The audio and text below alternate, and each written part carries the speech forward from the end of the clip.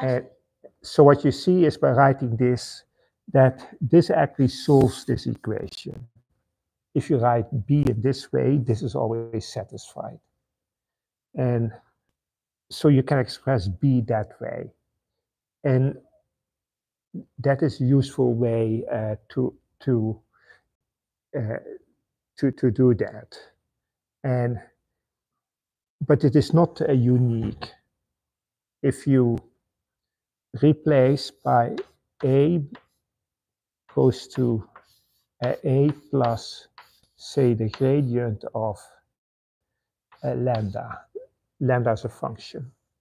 Then uh, b, that is the curl of a now, the curl of uh, a, and there's an additional term, uh, the curl of the gradient, sorry, what do I do?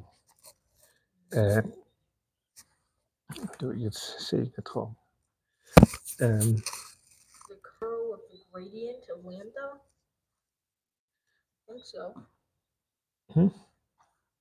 I think it's the curl of the gradient of lambda. yeah, so it's the curl of the gradient of lambda. Yeah, that's okay. And now,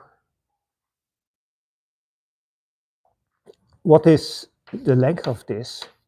This is the length of A times the length of B times this, sorry, this is uh, theta times the sine of uh, theta. Yes. So if they are parallel, if, if so, so A If they are parallel, it'll simply be zero. Exactly. So this is zero. And here you see now two the same vectors. So this is equal to zero. So you see when you add this to A, it actually remains the same.